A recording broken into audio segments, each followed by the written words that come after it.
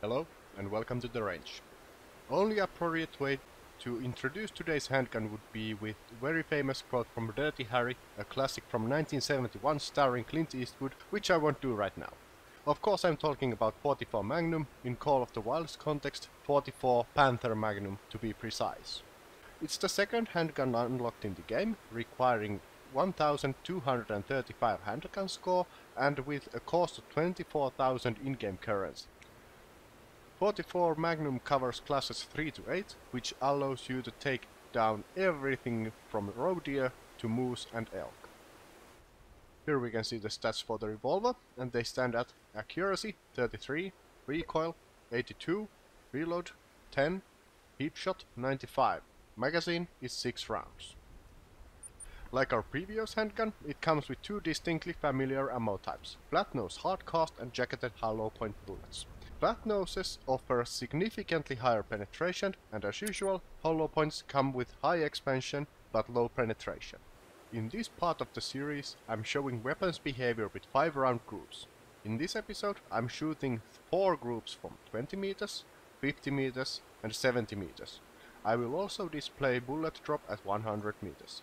As stated in previous video, I will utilize Parque Fernando's range for convenient target ranges. I will use the following rules to every video depicting comparable weapons.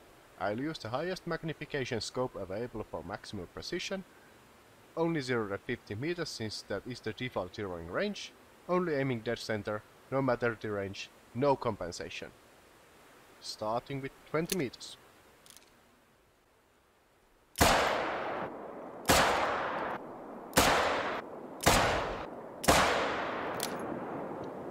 That is 5 shots from 20 meters. Bullets are landing tiny bit high. Switching the targets to 50 meters.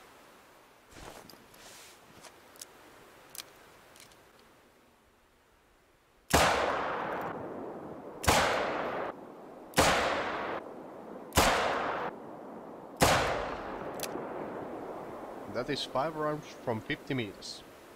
Landing where they should be. Bullseye. Switching targets to 70 meters.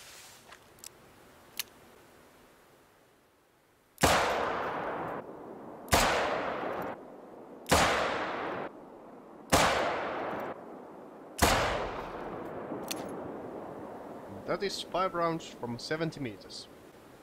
We are starting to see a small bullet drop, but bullets are still barely in the bullseye. And then I will perform 5 shots at 100 meters.